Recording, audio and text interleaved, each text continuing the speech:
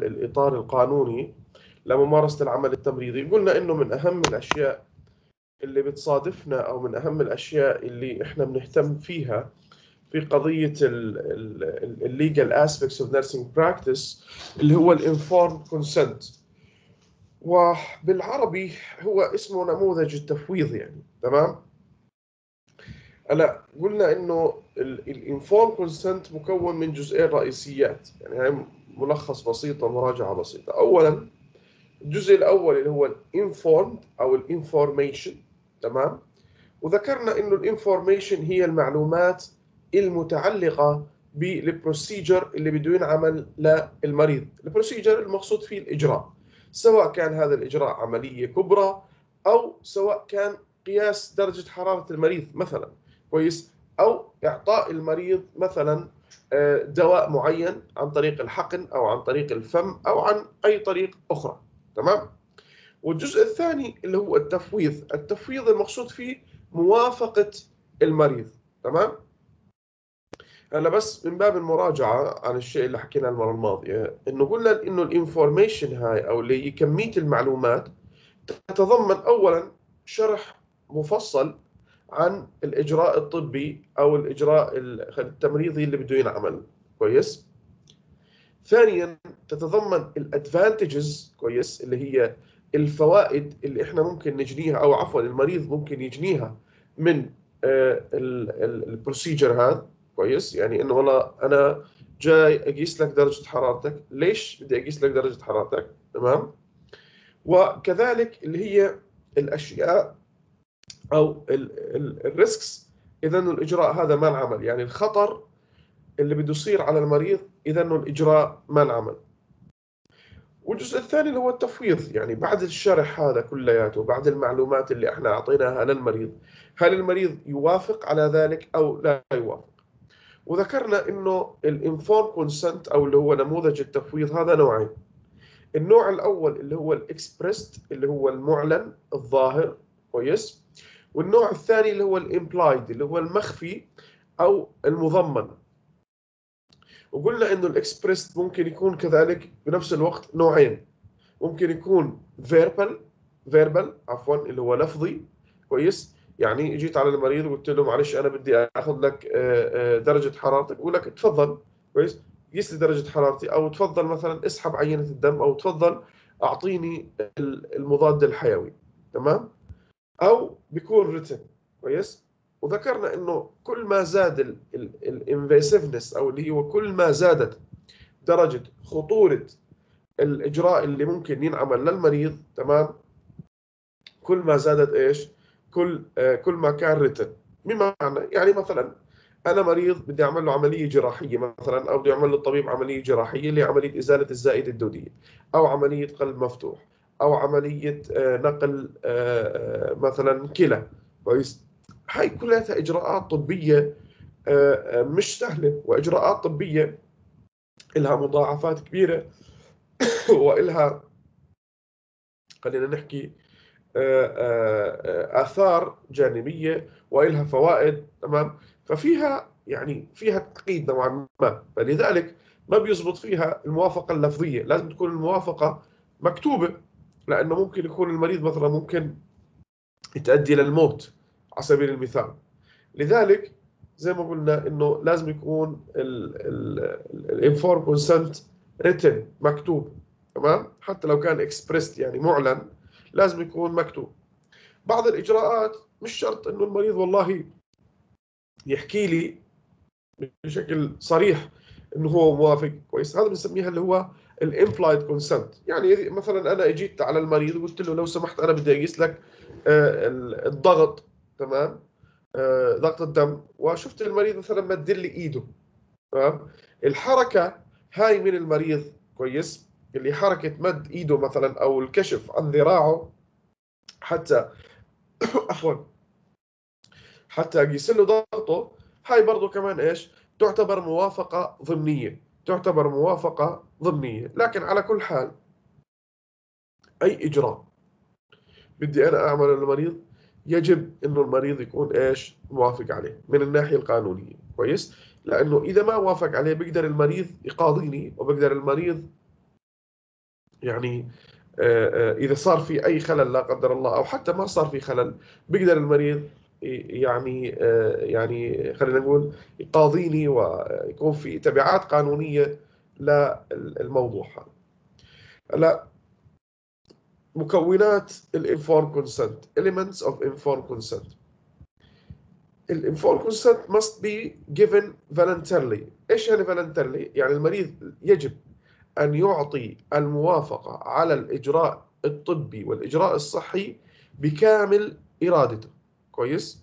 وكامل إرادته تعني إنه no coercion يعني no coercion يعني لا إجبار.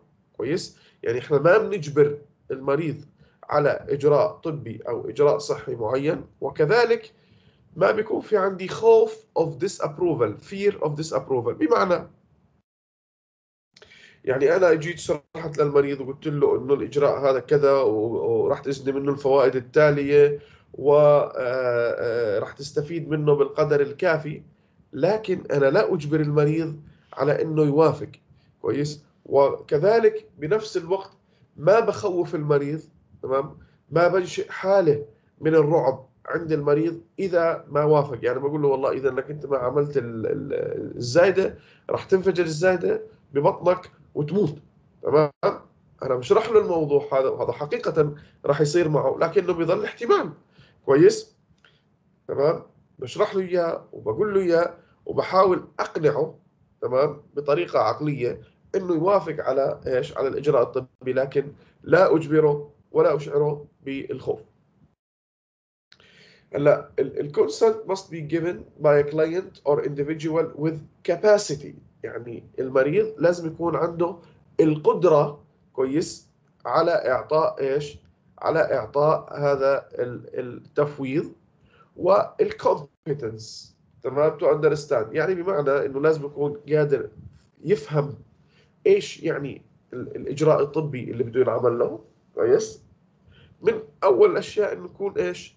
cognitively intact كويس؟ يعني واحد مثلا عنده آه، آه، مشاكل عقلية معينة بالإدراك عنده Alzheimer's disease كويس؟ شخص كبير في السن وعنده مرض زهايمر هذا يعني فاقد القدرة العقلية فهو غير قادر على إنه يعطي informed consent واحد آه، مريض نفسيا مثلا وعنده مرض عقلي معين مثل الفصام العقلي هذا نفس الشيء أو مثلا الهوس الاكتئابي أو غيرها من الأمراض النفسية الشديدة. كويس؟ فلذلك هذا المريض حتى يعطي التفويض هذا يجب أن يكون قادر على القراءة تمام؟ والتحليل بنفس الوقت. كويس. وكذلك يجب أن يكون competent. competent يعني مؤهل أو كفؤ. وكفؤ تعني أنه أكثر من 18 سنة. كويس. يعني أنا ما باخذ informed consent من طفل صغير. كويس. لأنه بنظر القانون الأطفال أو يعني الشخص اللي عمره 17 سنة ما يزال طفلا. كويس. فلذلك يجب أن يكون المريض حتى يعطي ال informed consent يجب أن يكون إيش؟ يجب أن يكون شخص بالغ تجاوز عمره ال 18 سنة. يجب أن يكون conscious conscious واعي صاحي تمام؟ و oriented oriented يعني مدرك. كويس؟ ولما بقول oriented بتذكر ثلاث شغلات دائما. oriented to time عارف الوقت اللي هو فيه. عارف مثلا إنه اليوم الأحد وإنه الساعة تسعة وربع تقريبا تمام؟ Oriented to, to place كويس عارف هو وين موجود. الآن هو موجود بالمستشفى موجود بالمركز الصحي موجود بأي مكان تمام؟ و oriented to person عارف مين هو؟ وعارف مين الأشخاص اللي موجودين حواليه. الآن في استثناءات راح نحكي عنها كمان شوي تمام؟ لكن ال ال الشخص هذا أو المريض حتى يعطي التفويض يجب أن يعطى المعلومات الكافية enough information حتى إيش يقدر يأخذ قرار بالنهاية ويوافق أو يرفض اللي هو ال ال الإجراء الطبي أو الإجراء الصحي اللي ممكن ينعمل الآن إيش إيش الاستثناءات؟ أولا اللي هو الماينر والماينر المقصود فيه إنه الأشخاص اللي آه، آه، أعمارهم أقل من 18 سنة أو حتى الأشخاص اللي عمرهم 18 سنة اللي قدراتهم العقلية مالها محدودة. زي مثلا ممكن يكون في عندي شخص مثلا عنده تخلف عقلي developmental delay أو developmental disability بمعنى إنه والله عنده آه، مشاكل بالتطور والنمو خصوصا مشاكل تطور النمو. عفوا التطور العقلي.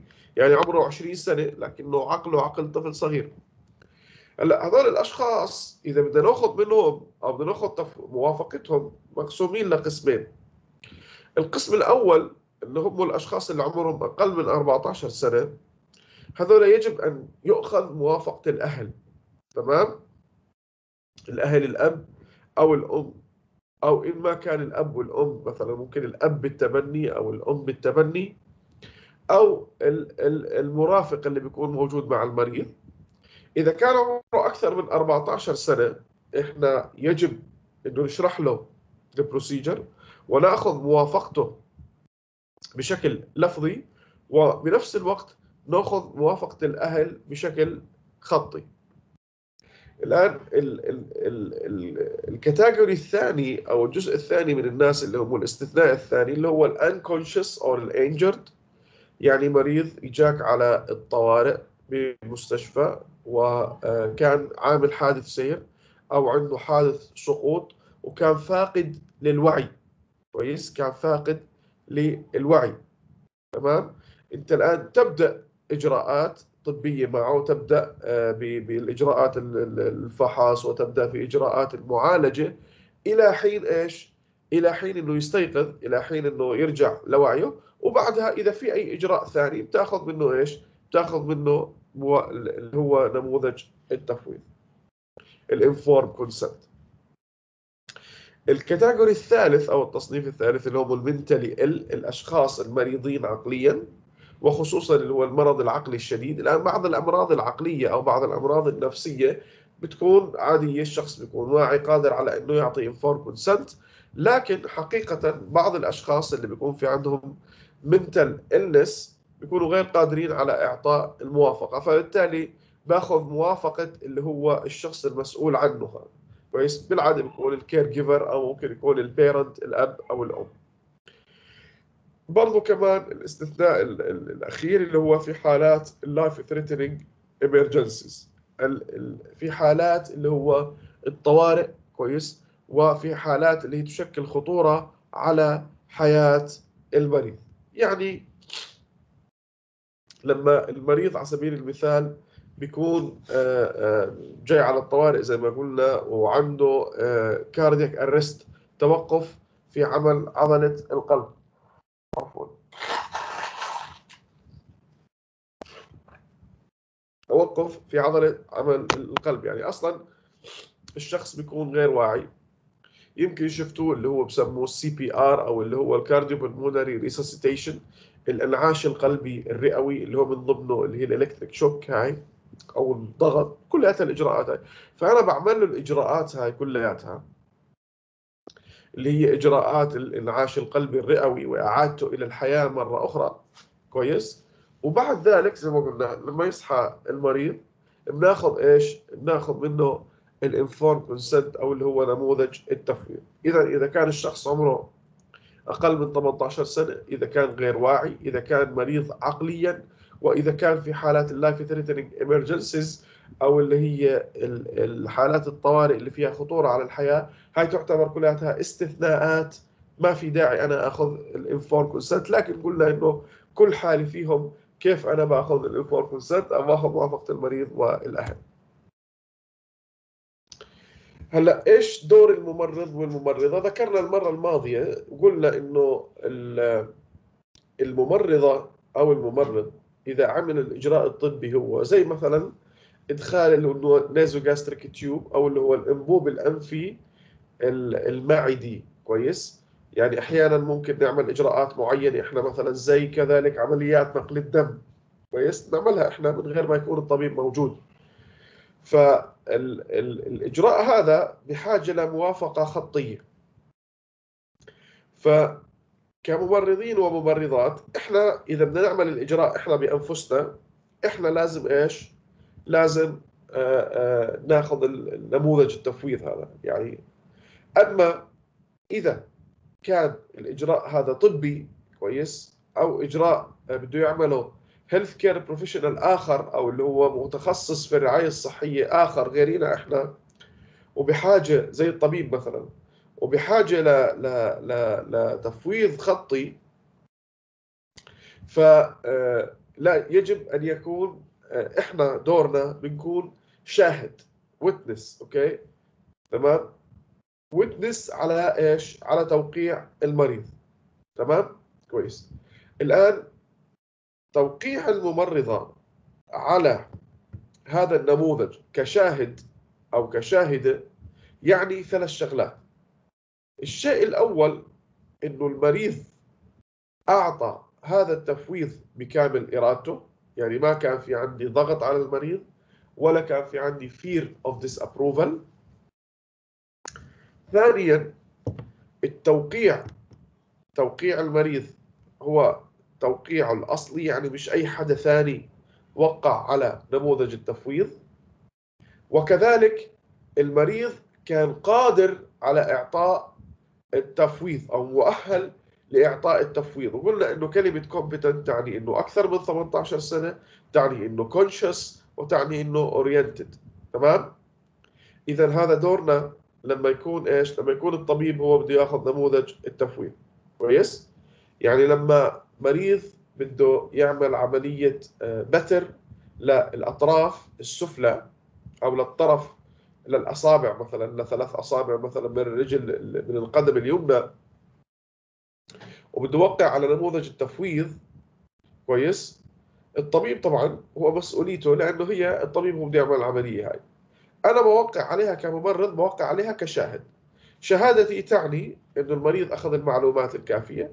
وأن توقيع المريض هو التوقيع يعني أن المريض هو اللي وقع. تمام؟ على النموذج مش أي أحد آخر. وكذلك اللي هو إيش؟ إنه المريض كان competent يعني بمعنى إنه كان قادر آه تمام؟ أو عنده القدرة الكافية إنه يوقع على هذا النموذج. الآن آه في عندي شيء اسمه ال Good Samaritan Acts أو ال ال ال القوانين مجموعة القوانين اللي هو المتعلقة بال Good Samaritan طبعا هو مش يعني مش نموذج موجود ببلادنا العربية هذا النموذج أو هاي القوانين. هي قوانين موجودة في الدستور الأمريكي كويس؟ لكن إحنا زي ما قلت لكم لأنه الكتب هاي مصدرها أمريكي بنطلع على الموضوع هذا. وفي شيء مشابه كويس. في ش... يعني جزء من هاي الأشياء موجود مثلا عندنا بالأردن في شيء اسمه قانون المساءلة الطبي. قانون المساءلة الطبي. الآن الجود سمارتن اكتس هي عبارة عن مجموعة من القوانين لوز designed to protect healthcare providers. صممت وأنشئت لحماية مقدمي الرعاية الصحية اللي بيقدموا الرعاية الصحية للأشخاص في حالات إيش؟ في حالات الطوارئ كويس؟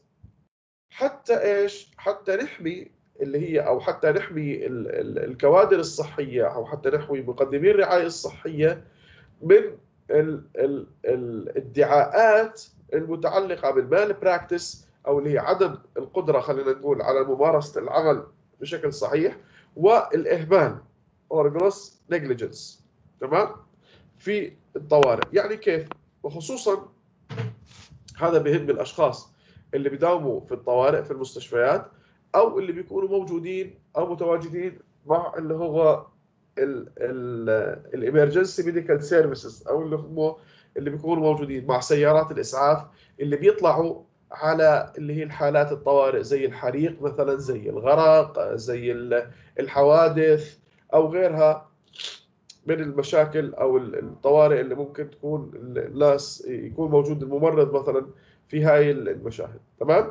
فالفكرة إنه هذا القانون صمم لحماية مقدمي الرعاية الصحية كلياتهم سواء كانوا ممرضين ممرضات أطباء أو الناس اللي بتشتغل في الطوارئ. فحتى نحمي إحنا حالنا كويس كممرضين وممرضات تمام؟ إذا طلعنا على حالات طوارئ كويس؟ يجب أن نلتزم بالمعايير التالي كويس؟ اولا limit actions to those considered first aid. يعني يجب إنه ال ال ال كل الإجراءات الطبية اللي نحن نعملها كويس؟ يجب أن تحدد ببس الفيرست ايد اللي هي الإسعافات الأولية. يعني حتى يعني مثلا إذا المريض كان مثلا عنده نوبة هبوط سكري واجى على الطوارئ. كويس؟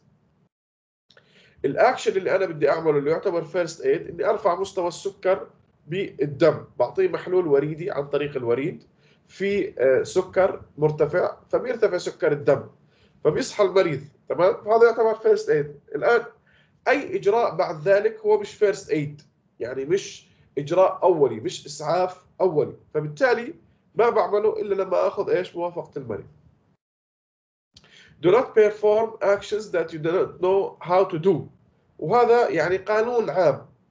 إنه أنت كممرض وكمقدم للرعاية الصحية لا تقم بأي إجراء أنت ما بتعرفه. كويس؟ يعني ما بتعرف تسحب دم؟ لا تسحب دم للمريض. ما بتعرف تخيط جرح؟ لا تخيط جرح للمريض. ما بتعرف تعمل إجراء إنعاش قلبي رئوي لا تعمل انعاش قلبي رئوي للمريض. كويس؟ offer assistant but do not insist. يعني يعني بمعنى إنه أنت قدم المساعدة للمريض واعرض عليه المساعدة لكن لا تصر. كويس؟ لا تصر على المساعدة خصوصا إذا كان المريض واعي. تمام؟ إذا رفض المريض المساعدة في حالات الإمرجنسي خلاص انتهى. هذا خيار المريض وقرار المريض. Has someone call for additional help. وأنت بتقدم المساعدة للمريض وأنت بتعمل إنعاش قلبي رئوي لا المريض أو أنت بتنقذ مريض من الغرق على سبيل المثال. خلي الناس الموجودين في المشهد هذا إنهم يتصلوا بمساعدة إضافية. يطلبوا سيارة إسعاف إذا ما كان في سيارة إسعاف. يطلبوا آه، آه، آه، طبيب مثلا. يطلبوا اللي هي الخدمات اللي هي الطوارئ do not leave the scene until the injured leave. يعني لا تغادر المشهد هذا لا تغادر المكان حتى يغادر الشخص اللي أصيب هذا المكان سواء كان بسيارة إسعاف أو سواء كان ماشي على قدميه do not accept any compensation. يعني لا تأخذ أي تعويض مادي خصوصا يعني مثلا إذا أنقذت حياة مريض مثلا ومد إيده على جيبته وأعطاك مبلغ من المال لا تقبل هذا المال كويس حتى تكون إيش؟ حتى يحميك اللي هو قانون ال Good Samaritan Act الآن ال legal protections in nursing practice carrying out physician order الآن الآن كيف بدك تحمي حالك؟ كويس؟ وإنت بتنفذ آه، آه، خلينا نقول آه، تعليمات الطبيب أو اللي هي أوامر الطبيب. إذا بتتذكروا لما شرحنا المرة الماضية أو يعني تناولنا هذا في حديث سابق إنه قلنا إنه ال nursing actions نوعين أو ال nursing interventions نوعين اللي هي التداخلات التمريضية أو الإجراءات التمريضية نوعين. نوع بنسميها independent يعني زي مثلا قياس درجة حرارة المريض ما في داعي والله أروح على الطبيب واقول له والله أنا بدي أقيس درجة حرارة المريض. ما في داعي أروح على الطبيب أقول له والله أنا بدي أقيس الضغط للمريض. ما في داعي أروح على الطبيب واقول له والله أنا بدي أسحب عينة دم للمريض. فهاي عبارة عن إيش؟ عبارة عن independent nursing actions. وفي عندي dependent nursing actions أو اللي هي الإجراءات التمريضية اللي بتعتمد على أوامر الطبيب زي إعطاء الدواء للمريض. زي مثلا الغيار على الجرح. هاي الطبيب لازم يكون كاتب لي بالتفصيل إيش هو الإجراء اللي بده ينعمل. فالآن حتى أحمي حالي أنا كممرض وممرضة بشكل قانوني كويس لما بدي أنفذ أوامر الطبيب فيما يخص أوامر الطبيب فيما يخص العناية بالمريض اولا يجب أن أحلل the nurse should analyze the orders by the physician. يجب أن أحلل إيش؟ ان أحلل الأوردر. بمعنى إنه أنا بدي أشوف الأوردر هذا هل يناسب مريضي أو لا يناسب مريضي؟ عفوا.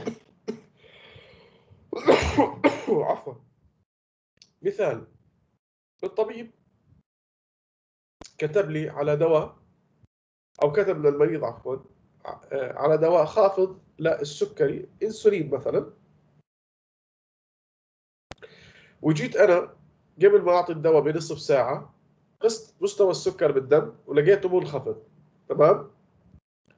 صحيح إنه الدكتور كتب لي ولازم ينعطى الإنسولين للمريض لكن فعليا مستوى السكر عنده بالدم منخفض لهذا المريض.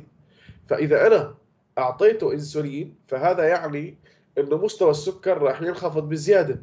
فبالتالي أنا راح أعرض المريض للخطر. فبالتالي ما بنفذ الأوردر هذا لكن بخبر الطبيب إنه في الساعة الفلانية قست السكري للدم للمريض ولقيت إنه منخفض فبالتالي أنا ما أعطيته الدواء. أو مثلا آه، مريض مثلا آه، عنده آه، مشكلة معينة كويس عنده حساسية مثلا من البنسلين أو اللي هو البنسلين مضاد حيوي. والطبيب كتب له على بنسلين أو مركب دوائي مثلا مضاد حيوي بيحتوي على البنسلين ما بعطي الدواء للمريض وبخبر الدكتور إنه هذا الدواء لا يتناسب وحاله المريض لا يتناسب الحالة الصحية عند المريض لأن المريض عنده حساسية من هذا الدواء فبالتالي ما بعطيه. كويس؟ اذا هذا المقصود فيه اللي هو تحليل الأوردر. يعني أنا أفهم الأوردر كويس؟ وانفذه تمام؟ بالطريقة الصحيحة. Nurses should seek clarification for ambiguous or erroneous order. أحيانا الطبيب بيكتب الاوردر أو بيكتب اللي هو زي ما قلنا الأمر الطبي المتعلق بالمريض. وبكون الأمر مش واضح يعني بحاجة لتوضيح. يعني مثلا الطبيب كتب لي مثلا أعطي المريض الفلاني إنسولين 10 international unit هلأ الدواء ال order هذا مش مكتمل. كويس؟ ليش؟ لأنه الطبيب مش كاتب لي قديش ال frequency يعني أعطيه 10 international unit international unit اللي وحدة قياس الإنسولين. هلأ أعطيه مرة واحدة مرتين باليوم ثلاث مرات باليوم. مش مفهوم. أو مثلا مش معروف كيف اعطيه اياهم هل اعطيه اياهم مثلا سب كيو كويس اللي هو تحت الجلد ولا كيف؟ تمام؟ هو بالعادة الإنسولين بينعطى تحت الجلد لكن مثلا ممكن يكتب لك الطبيب مثلا أعطي المريض آآ آآ عفوا مسكن ألم معين. كويس؟ فالمسكن هذا مش مكتوب مش كاتب لك الطبيب شو الطريقة اللي تعطي فيها المسكن تعطيه بالعضل تعطيه بالوريد مش معروف. بالتالي بتصل بالطبيب وبسأله بقول له إنه وضح لي الأوردر كيف بدي أعط... كيف بدك إياني أعطيها؟ وكم مرة بدك إياني أعطيها؟ لأنه الأوردر تبعك مش واضح. أحيانا بتكون خصوصا مثلا ببلادنا بالمستشفيات اللي ما فيها نظام كمبيوتر أو نظام إلكتروني لكتابة الأوردرز. ممكن الطبيب يكتب الأوردر بخط إيده فبيكون خط الإيد مش واضح. كويس؟ برضه بنفس الطريقة. بتصل بالطبيب وبطلب منه يوضح لي يوضح لي هلأ نقطة أخرى اللي هو ال clarification from the orders source only. بمعنى إنه أنت إذا كان في أمر طبي كويس من الطبيب وأنت بحاجة لتوضيح زي ما قلنا قبل شوي بحاجة تعرف ال frequency بحاجة تعرف ال dose مثلا بحاجة تعرف ال route كويس؟ بالنسبة ل medication معين أو لدواء معين تتصل فقط بالشخص اللي كتب الاوردر اللي هو الطبيب في الحالة هاي. يعني ما بتصل بالصيدلاني ولا بتصل بطبيب آخر ولا بتصل بمديري في العمل. كويس؟ ولا بتصل برئيس القسم. تمام؟ ولا بحكي مع المريض. أنا فقط بتواصل مع الشخص اللي كتب الأوردر. Nurses are responsible to carry out orders that are not ambiguous or erroneous. بمعنى إنه أنت كممرض كويس يجب إنك يعني تنفذ الإجراءات الطبية الواضحة كويس واللي ما فيها غموض وما فيها ايرورز ما فيها أخطاء. إذا كان في أمر طبي كويس والأمر الطبي هذا فيه أخطاء وأنت نفذته على الرغم من العلم من علمك إنه في أخطاء فأنت بتتحمل المسؤولية كاملة. يعني زي المثال اللي قلناه قبل شوي. مريض عنده حساسية من الإنسولين أو من عفوا من البنسلين. وأنت آه، آه، تعرف إنه المريض عنده حساسية والطبيب كتب له. فأنت إذا أعطيت المريض هذا الدواء اللي هو المضاد الحيوي الذي يحتوي على البنسلين أو البنسلين فأنت بتتحمل المسؤولية كاملة. طبعا أنت والطبيب يعني مش بس لحالك لكن أنت تتحمل المسؤولية القانونية كاملة. تمام؟ الآن nurses should question some orders to protect themselves. يعني إيش هي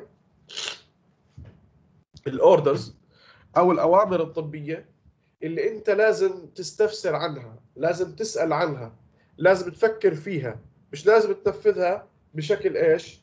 آآ آآ سريع ومباشر قبل ما تستفسر عنها أكثر. ودائما إحنا بنقول إنه nurses do not carry out physicians orders blindly. يعني أنا ما بعد أو ما بنفذ إجراءات الطبيب أو الإجراءات الطبية بشكل أعمى يعني. فال orders هذولا اولا اللي هي ال orders that questioned by the client. بمعنى إذا المريض كان في عنده شك أو كان في عنده مستغرب كويس؟ أو يعني هو مش واضح المريض ال order بالنسبة له تمام؟ ساعتها بسأل. في سؤال؟ في سؤال؟ ما في سؤال. طيب. يعني المريض على سبيل المثال عنده عملية مثلا زي ما قلنا قبل شوي مثلا استئصال للزائدة الدودية. كويس. وهذا المريض عنده حساسية من نوع معين من المواد التخدير. تمام؟ أو بلاش. نضرب مثال ثاني لأنه المريض يمكن ما يطلع على هيك أوردر. مريض عنده مشاكل بالتنفس كويس وبياخذ أدوية موسعة للقصبات الهوائية حتى يقدر إيش يتنفس بشكل صحيح أو طبيعي. فالدكتور راح كتب له على دواء. هذا الدواء يمكن يعمل تضيق بالقصبات الهوائية. كويس؟ فأنت كممرض قبل ما تعطي الدواء لهذا المريض شرحت له عنه وقلت له إنه ممكن يعمل له تضيق بالقصبات الهوائية. فالمريض استغرب. إنه كيف الطبيب بيكتب له هيك order تمام؟ وهذا إيش؟ بيأثر على القصبات الهوائيه بشكل عكسي بشكل سلبي تمام؟ فبالتالي المريض استغرب أو سأل عن هذا ال order فبالتالي أنت لازم إيش؟ تستفسر أكثر وترجع للطبيب. اثنين question any order if the client's condition has changed.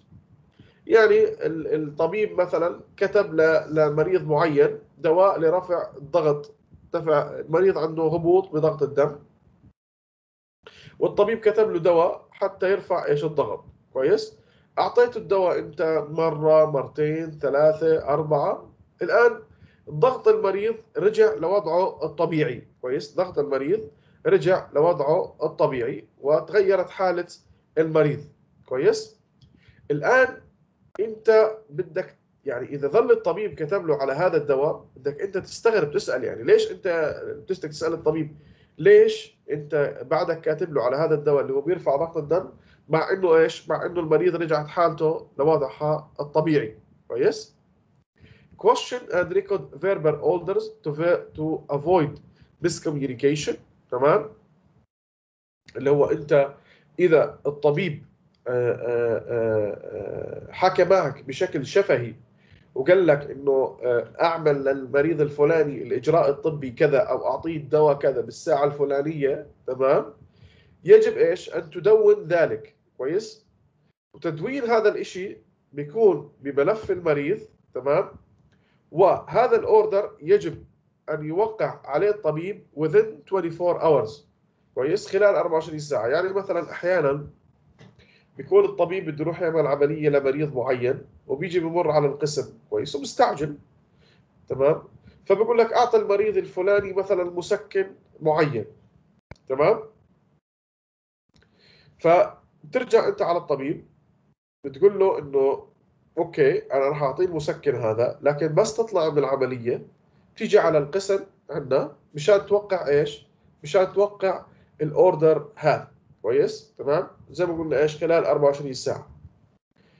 uh, question any order that's illegible غير مقروء و unclear غير واضح or incomplete تمام؟ في عندي اوردرات أو في عندي إجراءات طبية معينة ممكن تكون غير واضحة أو غير مقروءة أو ناقصة كويس؟ فبالتالي أنا برجع للطبيب في هالحالات هاي وبستفسر منه وبشوف إيش المشكلة تمام؟ حتى أقدر أنفذ إيش الإجراء الطبي بشكل صحيح عفوا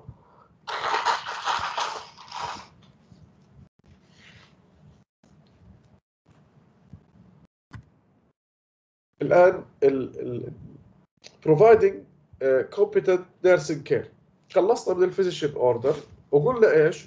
قلنا إنه في عندي independent nursing action كويس؟ حتى إحنا ننفذ هذول ال independent nursing actions أو اللي هي الإجراءات التمريضية المستقلة اللي ما بدها دكتور order لازم نكون competent. competent يعني كفؤين ومؤهلين لهذا الإجراء. الآن في عندي مجموعة من الشروط يجب أن تكون متوافرة حتى نكون إحنا إيش؟ حتى نكون مؤهلين وكفؤين. أولا nurses should provide care within their legal boundaries of their practice and their agencies. تمام؟ إنه اولا يجب أن نلتزم بالإطار أو الأطر القانونية لممارسه العمل التمريضي في أي مؤسسة. كويس؟ كيف؟ يعني ال ال مثلا المؤسسة مثلا اللي أنا بشتغل فيها أو المستشفى اللي أنا بشتغل فيه كويس؟ بيمنع علي إني أنا أطلع من القسم كويس؟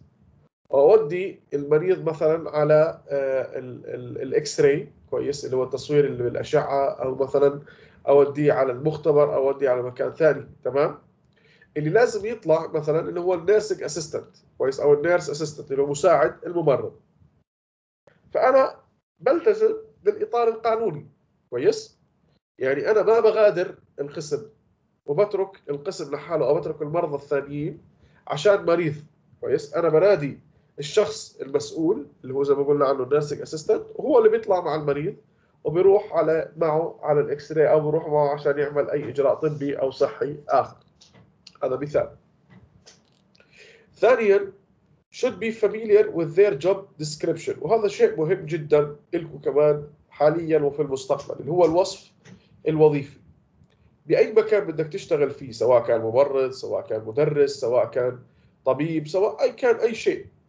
يجب أن تطلع اولا على الجوب ديسكريبشن اللي هو الوصف الوظيفي. يعني إيش الأشياء اللي مسموح لك إنك تعملها في الإطار القانوني؟ وإيش الأشياء اللي أنت ممنوع إنك تعملها. كويس؟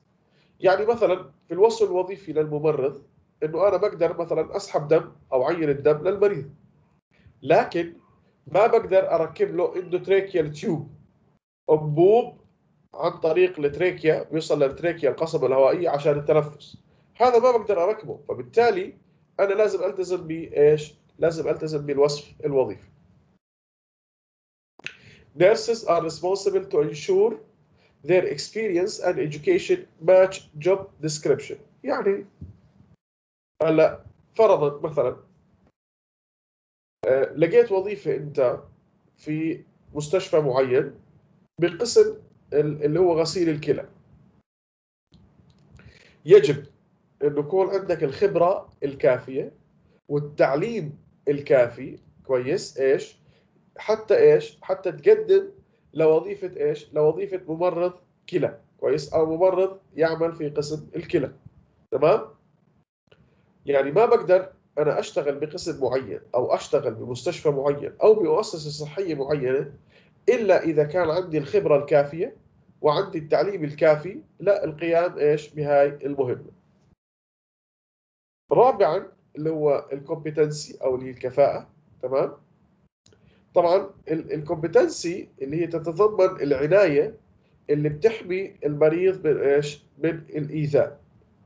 هلا يعني ال competency تشمل أشياء كثير وتشمل كذلك اللي هو ال education وال experience يعني حتى تكون أنت كفؤ في تنفيذ الإجراءات الطبية المختلفة والإجراءات الصحية المختلفة يجب انه يكون عندك التعليم الكافي تمام؟ ويجب انه يكون عندك كذلك إيش؟ اللي هو الخبرة الكافية لهذا الإجراء. زي ما قلنا قبل شوي. يعني أنت بدك تسحب عينه دم للمريض. يجب أنك تكون دارس وفاهم كويس إيش هي الإجراءات الصحية اللي أنت بدك تعملها حتى تسحب عينة للمريض أو حتى تعطيه دواء معين عن طريق الوريد. أو عن طريق مثلا العضل كويس؟ وبنفس الوقت يجب أن يكون عندك الخبرة العملية الكافية حتى تقوم بإيش؟ بهذا الإجراء.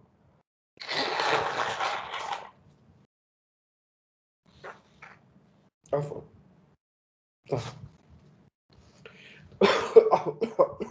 عفوا.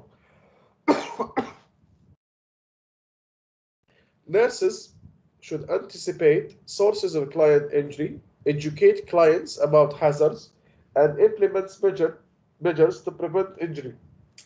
يعني أنا كممرض وممرضة حتى أحمي حالي في ضمن الإطر القانونية يجب أن آه، آه، أبحث أو خلينا نقول أحدد مصادر الخطر اللي ممكن تأثر على مريضي أعلم المريض وأفهمه إيش هي مصادر الخطر تمام وأنفذ الإجراءات اللي من شأنها تحمي المريض من الخطر. يعني مثلا إجانا مريض على المستشفى آه، عمره أكثر من 65 سنة. ممكن مثلا آه، احتمالية إنه يسقط أو يوقع عن السرير عالية. كويس. فأنا آه، آه، اولا بحدد مصدر الخطر اللي هو السقوط عن السرير مثلا بسميها risk for fall بعلم المريض بحكي للمريض إنه أنت ممكن توقع على السرير لذلك لا تنزل على السرير إلا إيش؟ عبين ما تناديني أو تنادي حدا يساعدك أو تناديني من خلال إنك تكبس على الكبسة مثلا اللي هي تبعت الممرض والممرضة. وكذلك إيش؟ أنا كممرض وممرضة بنفذ الإجراءات اللي من شأنها إنها تحمي المريض، مثلا برفع ال side rails، ال side rails اللي هي الحواجز الحديدية الجانبية أو الحواجز اللي بتكون على جوانب السرير حتى أمنع سقوط المريض. application of nursing process رح نحكي عنها بالتفصيل إن شاء الله. آه، يمكن ما نلحقش المرة هاي يمكن المرة الجاية يوم الأحد القادم نحكي عنها اللي هي ال nursing process أو اللي هي العملية التمريضية اللي بتشمل اللي هو ال assessment اللي هو التقييم بتشمل ال diagnosis التشخيص التمريضي تشتمل على ال planning التخطيط وبتشمل على ال intervention أو ال implementation اللي هو تنفيذ الإجراء التمريضي وبتشمل كذلك اللي هو إيش؟ ال evaluation أو اللي هو التقييم. كويس؟ تمام؟ هاي هي nursing process باختصار لكن راح نتناولها إن شاء الله. المحاضرة القادمة راح تكون كلياتها عن ال nursing process هلأ حتى أحمي حالي أنا كممرض وممرضة كويس؟ بيشتغل بالمستشفى. يجب أن أوثق كل إجراء أنا عملته للمريض اللي هو ال accurate documentation وال accurate documentation اللي هو التوثيق الدقيق أو التوثيق الصحيح. والتوثيق الصحيح بيشمل شغلتين رئيسيات اولا اللي هو ال date وال time كويس اللي هو التاريخ والوقت. يعني في الساعة الفلانية في اليوم مثلا في يوم 5 9 2021 الساعة 9 و48 دقيقة. أنا كممرض عملت الإجراء التالي واحد اثنين ثلاثة عملته للمريض تمام؟ عفوا. وكذلك آه، اللي هو ال signature توقيعي أنا على هذا الشيء. فهذا هو يعني مكونين رئيسيات لل accurate documentation المكونات الأخرى أو الشيء الآخر اللي هو طبيعة الإجراء اللي انعمل. كويس؟ طبيعة الإجراء اللي انعمل للمريض. يعني أنا ممكن أورجيكم مثلا على آه، مثال ل nursing documentation تشوفوا للتوضيح بس.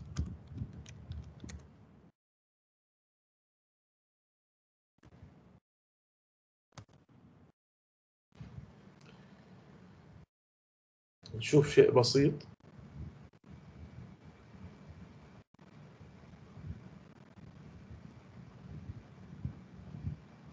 طيب. هون زي ما أنتم شايفين بالصورة هاي كويس. إنه هاي nursing progress note. ما راح نقرأها للتفاصيل لكن راح أورجيكم بس الأجزاء. هذا أول جزء اللي هو التاريخ 21 3 2011 على سبيل المثال. الساعة 8 وربع تمام؟ إيش الإجراء اللي انعمل للمريض هون شايفينه؟ اللي هو كل مكونات الإجراء وبالآخر اللي هو إيش؟ التوقيع. مثلا هذا الممرض مثلا أو الممرضة اسمها إي داروين كويس مهنتها؟ LVN أو اللي هو licensed vocational nurse تمام؟ بالساعة مثلا 8 و25 عمل إجراء ثاني الساعة 9 عمل إجراء ثالث الساعة 9 و10 عمل إجراء رابع. كل وحدة عليهم توقيع الممرضة أو الممرض اللي هو عمل الإجراء هذا كويس؟ ووصف تفصيلي للإشي اللي انعمل أوكي؟ وصف تفصيلي للإجراء اللي انعمل. إذا إيش هذا؟ هذا اسمه ال accurate documentation. ثانيا observing and monitoring client accurately اللي هو مراقبة المريض ومتابعة المريض بشكل دقيق. تمام؟ بشكل دقيق. مثال مثلا اللي هو قياس ال vital signs أو اللي هي العلامات الحيوية قياس الضغط قياس مستوى العفو قياس الضغط قياس النبض قياس السكري وقياس معدل التنفس. كويس؟ هاي كلياتها تشمل إيش؟ ضمن اللي هو ال observation أو monitoring patient accurately يجب أن تكون إيش؟ بشكل دقيق. Effective communication to protect the client from negligence claim. وتذكروا زمان حكينا عن ال helping communication أو ال helping relationship أو ال therapeutic communication وتناولنا ال communication بشكل تفصيلي. كويس؟ فحتى نحمي إحنا حالنا من إنه يدعي المريض علينا أو إنه إحنا أهملناه مثلا أو لم نقم بالإجراء الصحي بشكل صحيح يجب أن يكون إيش؟ ال communication واضح و effective فعال فيما بيني وبين المريض. Perform procedures correctly and appropriately. وهاي النقطة ذكرناها فيما سبق إنه أنا ما بقوم بأي إجراء إلا إذا كنت أنا competent أو مؤهل للقيام بهذا الإجراء. وكذلك أنا بقوم بهذا الإجراء بالشكل الصحيح وبالشكل المناسب للمريض. الآن ال ال نشوف ال documentation كويس. طبعا ال ال ال زي ما قلنا اللي هو ال accurate documentation أو اللي هو التوثيق الدقيق. تمام؟ client's medical chart chart is a legal document and can be produced in a court as evidence. بمعنى إنه الورقة اللي شفناها قبل شوي أو الورقة هاي زي ما أنتم شايفين هاي اسمها nursing progress note كويس بتحكي عن documentation accurate documentation. وهاي كذلك مثلا مثال آخر على إيش؟ على documentation. هاي الأوراق تمام؟ ماشي. تعتبر وثائق قانونية قد تستخدم كدليل قانوني في المحاكم في حال ادعاء المريض إيش؟ في حال ادعاء المريض على الممرض مثلا أو على المستشفى عند آه، المحكمة. يعني مثال مريض انعمل له آه، عملية آه، استئصال للوزتين كويس أو للزائد الدودية تمام؟ أي أو عملية جراحية أخرى. وصار عنده مضاعفات والمضاعفات أدت إلى أذى معين كويس أدت إلى عجز أدت إلى مرض شديد أدت إلى آه، مشاكل أخرى. كويس. فأنا راح المريض اشتكى عند المحكمة. كويس. على المؤسسة الطبية. كويس. أنا كممرض وممرضة تمام من ضمن الناس اللي اشتكى عليهم هذا الشخص. فبالتالي تمام حتى أحمي حالي أنا بشكل قانوني يجب زي ما قلنا قبل شوي إنه يكون كل شيء موثق. إذا كانت كل الإجراءات موثقة تمام؟ وكل الإجراءات انعملت بالطريقة الصحيحة كويس؟ فهذا يعتبر حماية بالنسبة لي تمام؟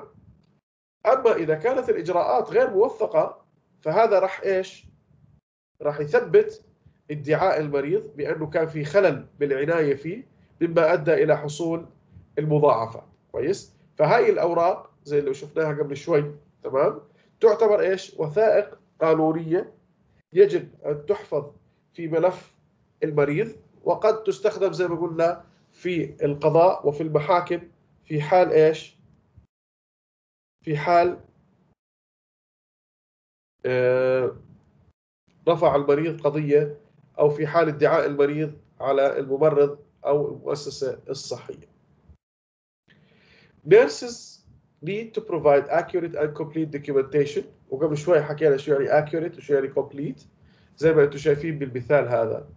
يجب أن يكون التاريخ والساعة كويس والتوقيع وكذلك وصف تفصيلي لإيش؟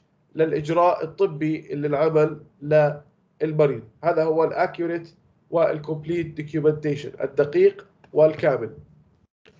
Not written not done. وهي نقطة حكيناها وبنحكيها دائما. إنه أي إجراء تمريضي كويس أنت بتعمله أو إجراء صحي بتعمله للمريض وما بتوثقه وكأنك ما عملته. كويس؟ يعني قست درجة حرارة المريض وما وثقت ذلك معناته أنت ما قستهاش. فلذلك أي إجراء إحنا بنعمله للمريض سواء كان بسيط أو كان معقد سواء كان سهل أو كان صعب سواء كان شو ما كان يكون يجب أن يتم توثيقه. Insufficient or inaccurate assessment and documentation can hinder proper diagnosis and treatment and result in injury. تمام؟ اللي هو المقصود فيه إنه عملية التقييم الأولى تمام؟ وعملية التوثيق إن لم تكن صحيحة وإن لم تكن دقيقة فهذا يعطل إيش؟ يعطل تشخيص المريض كويس ويعطل معالجة المريض. مثال.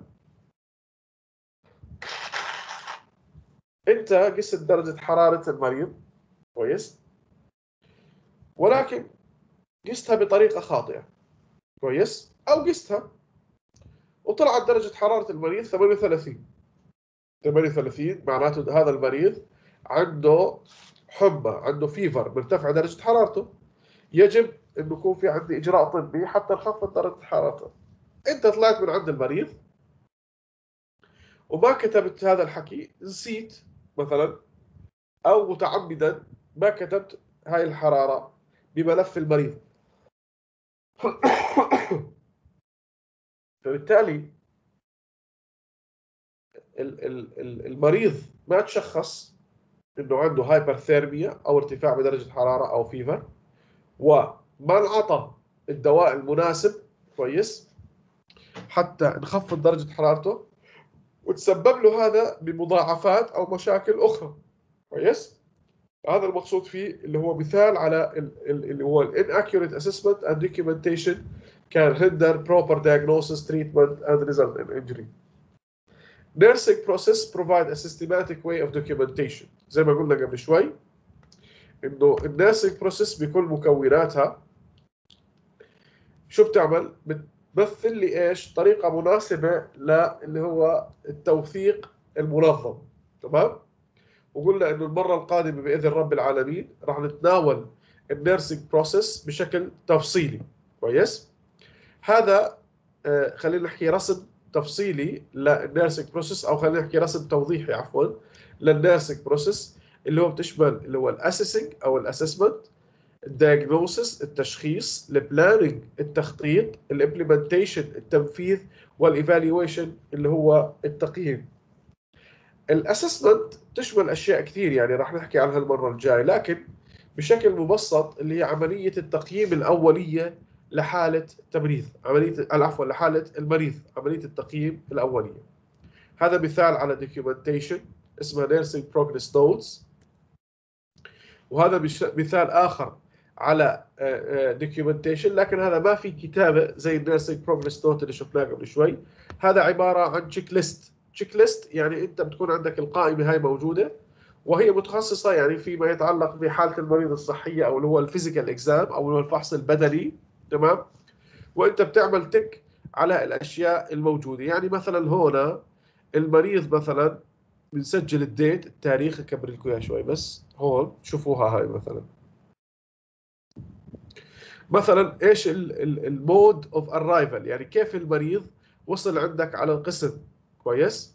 وصل walking مثلا بيمشي بتحط tick وصل مثلا على wheelchair تمام؟ كويس. بتحط tick وصل gurney مثلا تمام؟ وصل carried محمول. وصل مثلا مع الشرطة بتحط إيش؟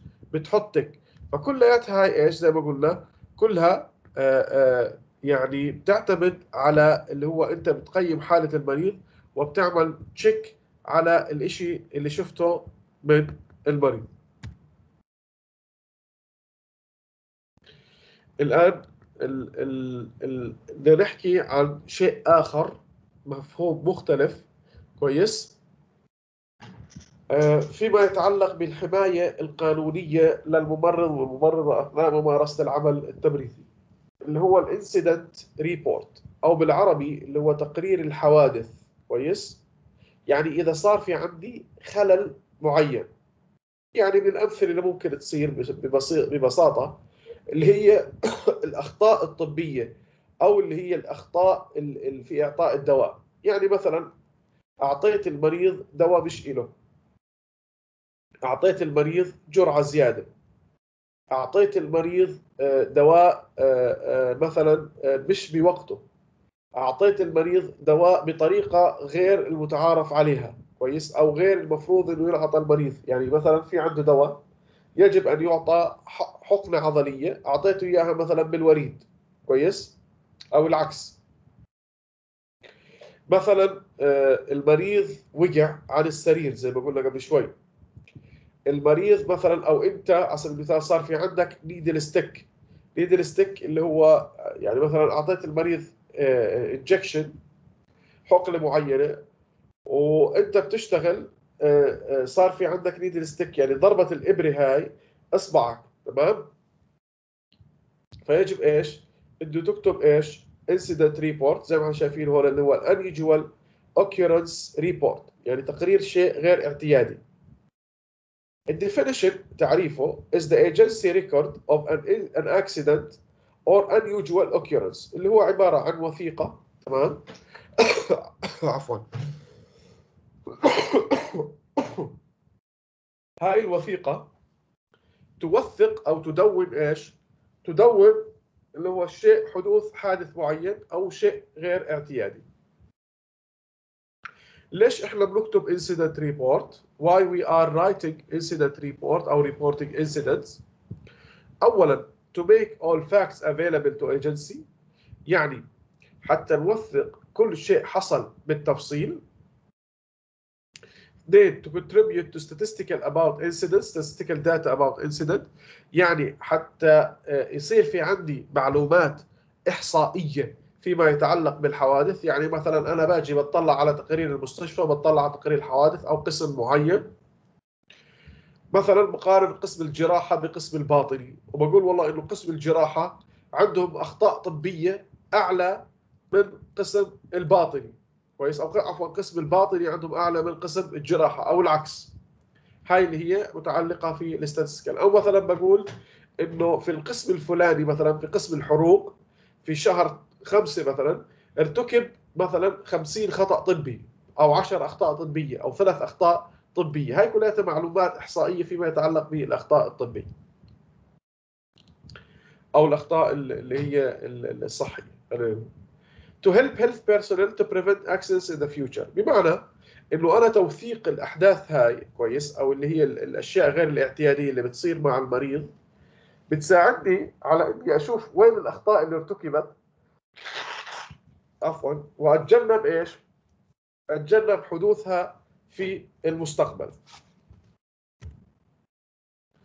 Information included in the incident report إيش المعلومات الوافر أو عفوا الواجب توفرها في التقرير؟ اولا identify client by name initial and hospital ID يعني إذا صار في خطأ طبي وهذا الخطأ الطبي تم مع مريض يجب أن يدون اسم المريض ال initial اللي هي الأحرف الأولى من اسم المريض كويس؟ يعني مريض مثلا اسمه أحمد محمد الأحرف الأولى A M من اللي هو من من, من اسمه الأول واسمه الأخير. وال hospital ID اللي هو رقم المستشفى الخاص بالمريض. Give name time كويس؟ And place of incident. بنعطي اسم الحادث مثلا في اليوم الفلاني في يوم مثلا 5 9 2021 الساعة 10 وخمس دقائق المريض سقط عن السرير. كويس اللي هو ال name ال time وال date of incidents وال place كويس اللي هو المكان في قسم الجراحة. Describe the facts of incidents.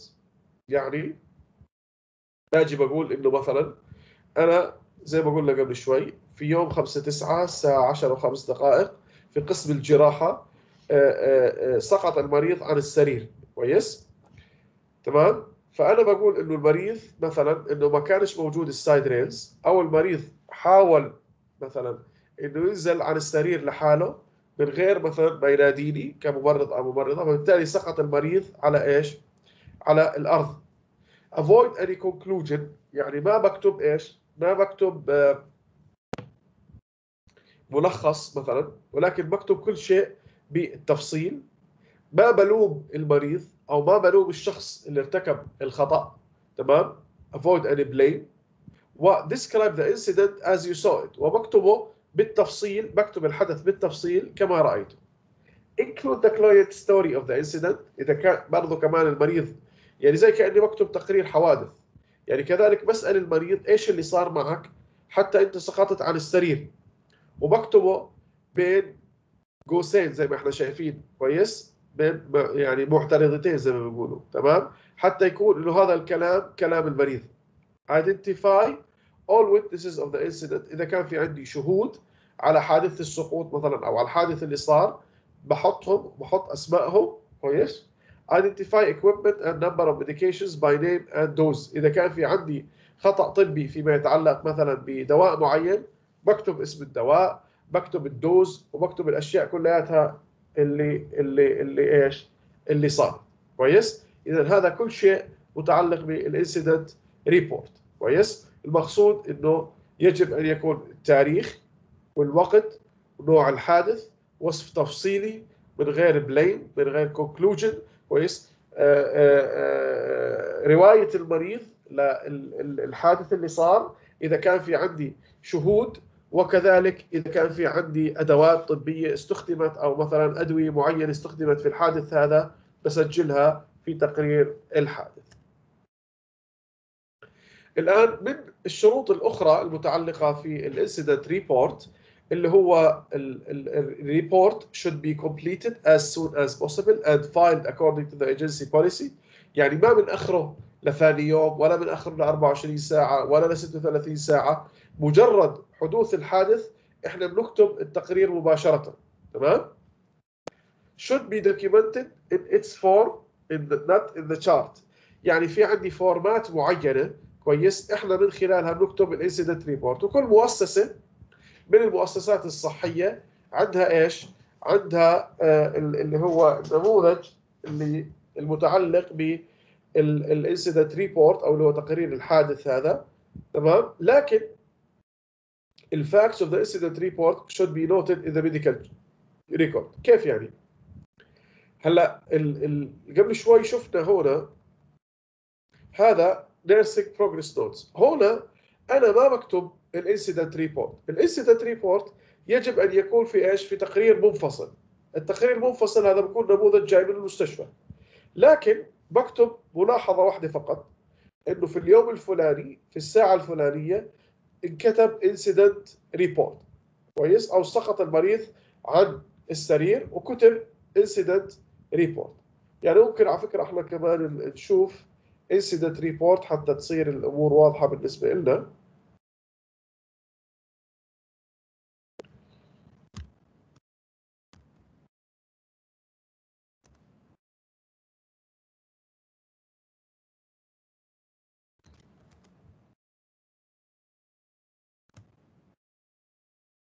شوفوا هذا النموذج كويس اللي هو incident report format.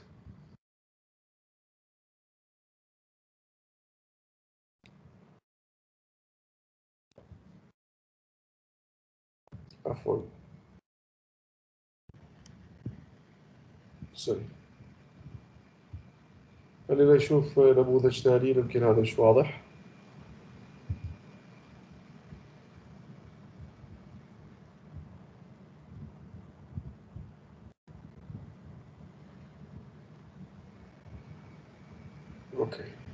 هلا هذا مثال على آه، اللي هو sample medical incident report يمكن الأشياء مش واضحة فيه لكن مثلا هون ال date كويس وال time نوع الحادث details of the incident كويس symptoms and signs إذا كان المريض بيشكي من مشكله معينة injury إذا صار في عندي آه، آه، إصابة للمريض. وكذلك زي ما قلنا بالنهاية بيكون موجود إيش؟ اللي هو ال witnesses كويس؟ هذا مثال على اللي هو ال incident report. ممكن هذا يكون أوضح شوي. تمام؟ هذا serious incident report كاتبين عنه هون. تمام؟ أه تشوفوا. طيب. أه ممكن نشوف غيره. كويس. لكن بالنهاية زي ما قلنا الموضوع الفكرة إن شاء الله إنها واضحة يعني إنه في عندي لكل مستشفى نموذج كويس. هذا النموذج متعلق بال incident report أو اللي هو تقرير الحادث اللي صار مع المريض. okay؟ تقرير الحادث اللي صار مع المريض. اللي بتضمن كل التفاصيل اللي إحنا إيش؟ اللي إحنا حكيناها. يعني شوفوا كيف مثلا هنا ال first name ال middle name وال last name تبع المريض العنوان تمام؟ اللي قلنا عنه ال place كل الأشياء هاي المتعلقة بال incident report كويس؟ هلا مثلا شو شو ال report شو ال incident report اللي صار مثلا؟ child abuse كويس؟ adult abuse elderly abuse هاي كلها أنواع incident report ممكن تصير مثلا. major illness major behavioral incident major medication incident involvement with law enforcement restraint use. هاي كلها incident report أو أنواع incident report. كويس؟ طبعا قلنا إحنا كل مستشفى لها إيش؟ لها آه، اللي هو النموذج اللي خاص فيها. The person who identified the incident report should complete the form. تمام؟ يعني الشخص اللي آه، آه، يعني اكتشف الخطأ أو كان شاهد على المشكلة زي مثلا طبيب أو ممرض هو اللي إيش لازم يكتب ال incident report أو اللي هو تقرير الحادثة. هلا في نقطة أخرى كويس اللي هي reporting crimes and unsafe practices اللي هو آه، آه، اللي هو آه، التبليغ أو الإبلاغ عن الجرائم أو الإبلاغ عن اللي هو الإجراءات الطبية غير الآمنة على المريض. مثال مثلا ممكن أنت تكون مثلا شفت طبيب مثلا أخطأ في إجراء طبي مع مريض كويس أو زميلك أخطأ بإجراء طبي مع مريض أو مثلا زميلك تعمد مثلا أو غير لا يتعمد يعني مثلا بشكل غير متعمد ارتكب خطأ معين يجب إيش؟ إنك إيش؟ تعمل آه، آه، آه، تبليغ أو تبلغ عن هذا الخطأ خصوصا إذا كان إيش؟ إذا كان في إيذاء للمريض. Nurses may need to report their colleagues زملائهم to their health or their other healthcare professionals for practices that endanger the health and safety of the client. يعني إذا كان في عندي أي إجراء كويس أو أي طبي إجراء طبي أو إجراء صحي يعني من قبل الدكتور من قبل ال physiotherapist من قبل الممرضين الآخرين تمام؟ وكان هذا في إيذاء للمريض أو كان غير آمن كويس؟ يجب الإبلاغ عنه. من الأمثلة عليها مثلا اللي هو nursing practice إنه آه زي ما قلنا قبل شوي مثلا ممكن بالمثال إنه والله ممرض دخل مريض كويس وما قاسلوش درجة حرارته كويس؟ أو تعمد إنه يعمل له إجراء معين هذا الإجراء من من يعني خلينا نقول من هدفه مثلا يعني مثلا خلينا نقول مضاد حيوي كويس؟ إحنا لما نعطي مضاد حيوي يجب إنه نعمل إيش؟ فحص الحساسية. فمورد زميل إلي أعطى هذا المضاد الحيوي للمريض من غير ما يعمل فحص حساسية. فهذا يعتبر إيش؟ unsafe nursing practice. أنا يجب أن أبلغ عنه. ببلغ لرئيسي المباشر.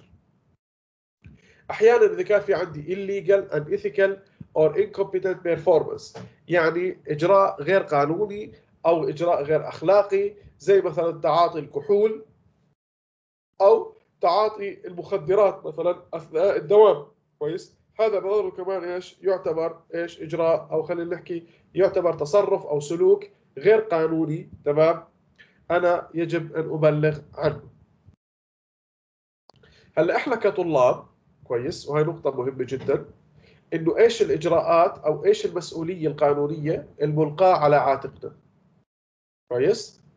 اولا يجب أن تعرفوا كويس؟ إنه students are responsible for their action. يعني على الرغم من انك طالب إلا إنك إيش؟ مسؤول عن تصرفاتك. كويس؟ تمام؟ مسؤول عن تصرفاتك وخصوصا فيما يتعلق بالمريض. تمام؟ هلا حدا ممكن يقول والله إنه أنا كطالب لساتني بعدني بتدرب ولساتني بعرفش الإجراءات. كويس؟ اللي ممكن تنعمل للمريض. عشان هيك دائما بنقول إيش؟ إنه حتى وإن كنت كطالب كويس؟ يجب أن تلتزم بإيش؟ بالإجراءات اللي أنت بتعرفها. يعني do not do anything that you do not know. كويس يعني مثلا إذا اجيت مثلا على يوم من الأيام بتداوم بقسم معين وبتتدرب بقسم معين وإجا حدا طلب منك مثلا ممرض أو ممرضة إنك تروح تعطي مريض انجكشن تعطيه حقنة. كويس؟ لهالمريض هذا. وإنت بعدك ما تدربت بعدك ما تأهلت إنك تصير إيش؟ أو صرت مؤهل إنك تعطي المريض هذا الحقنة. ترفض إنك تعطيه الشيء هذا. كويس؟ فعشان هيك كل الإجراءات اللي أنت بتعملها للمريض حتى وانت طالب أنت مسؤول عنها. تمام؟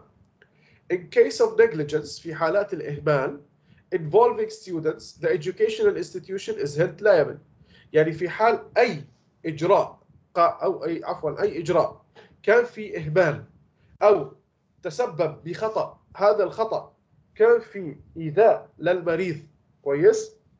المؤسسة التعليمية اللي بيدرس فيها الطالب أو يتعلم فيها الطالب هي مسؤولية قانونية يعني مثلا أنت كطالب أو كواحد مثلا طالب بجامعة العلوم والتكنولوجيا كلية التمريض راح على مثلا على الدوام العملي وخلينا نقول مثلا ارتكب خطأ طبي معين وهذا الخطأ الطبي المعين صار في إيش؟ صار في مضاعفات عند المريض فجامعة العلوم والتكنولوجيا تتحمل المسؤولية القانونية تمام؟ والطرف الآخر اللي هو المريض بده قاضي اللي هو الجامعة أو اللي هي المؤسسه التعليميه. Students in clinical situations must be assigned learning experiences with their capabilities and be given reasonable guidance and supervision بمعنى آخر إنه أي طالب بأي آآ آآ آآ خلينا نحكي مكان بيتدرب فيه يجب أن يكون عنده الخبرة الكافية لتنفيذ الإجراءات التمريضية في ذلك المكان وبنفس الوقت يجب أن يكون عنده إيش؟ supervision يجب أن يكون إيش؟ بيكون في حدا يراقب تنفيذ الإجراءات. هلا إحنا ما بنخاف مثلا لأنه إحنا مثلا عندنا بالجامعة في عندنا اللي هو إحنا بنسميه ال clinical supervisor أو ال clinical instructor تمام؟ أو اللي هو ال ال ال المرافق أو الأستاذ أو ال miss اللي بتكون موجودة معك ولما بتطلعوا على المستشفيات بيكونوا مرافقين وموجودين معكم.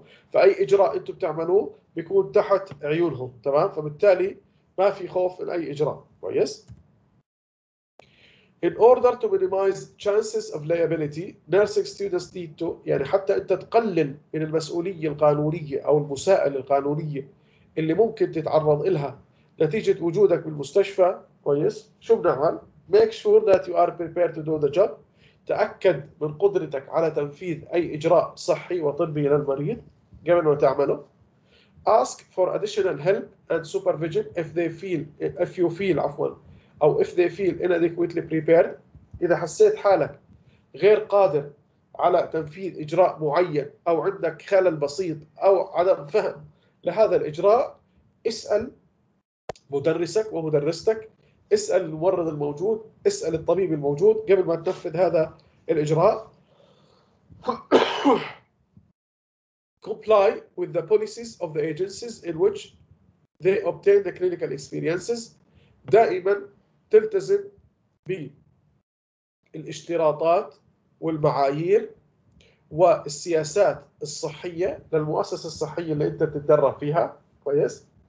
يعني مثال مثلا أنه آه مثلا مؤسسة صحية معينة مثلا أو مستشفى معين بيمنع الطلاب من إنهم مثلا يسحبوا عينات دم للمرضى. خلاص أنا بلتزم بهالإجراء هذا تمام؟ أو بيمنع الممرضين أو مثلا بيمنع الطلاب من إعطاء أدوية لحالهم للمرضى. يجب أن يكون معهم مثلا اللي هو المدرس أو زي ما قلنا قبل شوي ال clinical instructor أو ال clinical supervisor أو ال preceptor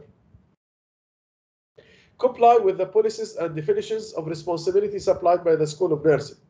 دائما إحنا عندنا بكلية التمريض وبأي كلية تمريض في عندي مسؤوليات معينة كويس؟ مطلوبة من الطالب كويس؟ يجب وسياسات معينة متعلقة في فينا كطلاب يجب إنه نطلع عليها ويجب إنه إحنا نعرفها كويس؟ ويجب إنه نلتزم فيها. تمام؟